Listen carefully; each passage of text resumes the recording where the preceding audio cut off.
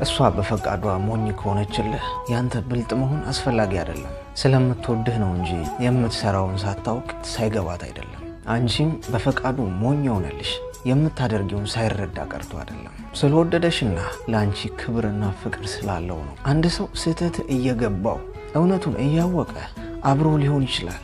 ያ ማለት ግን ምንም አያውቅም ነፈዝ ነው ማለት ግን አይደለም። ስለዚህ ፈቅዶ ሞኝ ከሆነልሽ የአንቺ አራዳነት አስፈላጊ አይደለም። ሰው ለመጥላት፣ ሰው ለመሳደብ ጊዜ ካለህ ጊዜ በጣም ተርፎሃል ማለት ነው። ህይወት እንኳን ለጥላቻና ለክፋት ለፍቅር እንኳን ጊዜው አይበቃም። እድሜ ቶሎ ቶሎ ነው የሚሄደው። መቼ ጥሩ ስራ ልትሰራ ነው? መቼ ለሰው ልጅ ሁሉ ደግ ነገር ልትሰራበት ነው? ሞት ሲመጣ ድንገት ነው በርህን የሚያንኳኳው። ስለዚህ ጊዜህን ለፍቅር ምላስህን ለማመስገን ብቻ ተጠቀምበት። ሳትወዳት እወድሻለሁ እያልክ ሳታፈቅራት አስመስለ ፍቅርህን እየሰጠሃት ህይወቷ ላይ አትጫወት። እያስመሰልክ ህይወቷ ላይ ካርታ ስለተጫወትክ ሜዳ ላይ አይበረከትልህም። የሚያጨበጭብልህም የሚሸልምህም የለም። ምናልባት የሚጠይቀኝ የለም፣ የሚያየኝ የለም፣ ለምን የሚለኝ የለም፣ የሚፈርድብኝም የለም፣ አልጠየቅም ብለህ ሊሆን ይችላል። ነገር ግን እመነኝ የጊዜ ጉዳይ እንጂ የህሊና እስረኛ መሆንህ የማይቀር ጉዳይ ነው። የሰው ልጅ የሚወድቀው ራሱ ባዘጋጀው ወጥመድ ነው። ራሱ የዘራውን ነው ያንኑ የሚያጭደው። በክፋት መንገድ ማንም ተሸልሞ አያውቅም፣ ማንም አሸንፎ አያውቅም።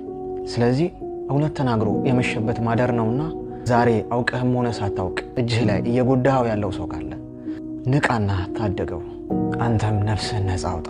የሰው ልጅ ነፃ የሚወጣው በእውነት ብቻ ነው።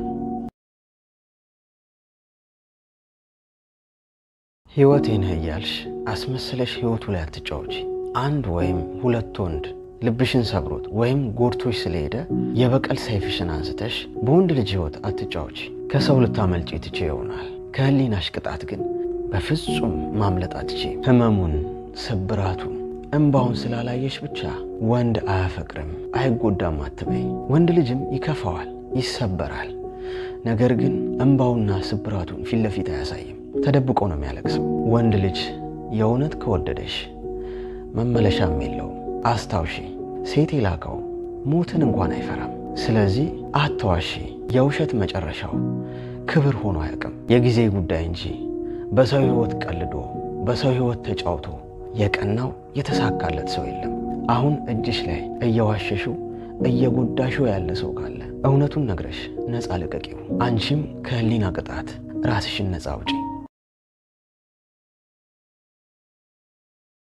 ችግርሽን ላገኘሽው ሰው በሙሉ አትናገሪ።